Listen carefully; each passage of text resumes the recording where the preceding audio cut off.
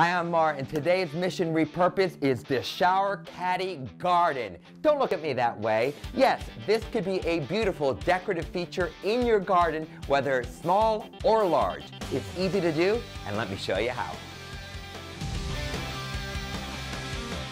So what you need is you need some moss. You're going to need some nice plants in a variety of different sizes. I love to put also air plants. They have absolutely no roots whatsoever, so it's easy to nestle them in the entire arrangement. You're going to take your shower caddy and you're going to begin by putting some pieces of moss to line the area.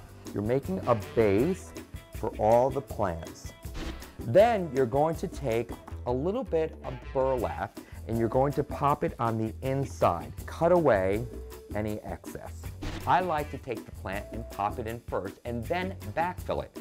So I'm gonna do that with this lovely little fern and I'm gonna break up the root ball and the reason why you break up the root ball is because you want to promote new growth and now I'm going to pop it right in just like that. You just continue to do that the last thing I'm going to add is this air plant and just pop it in.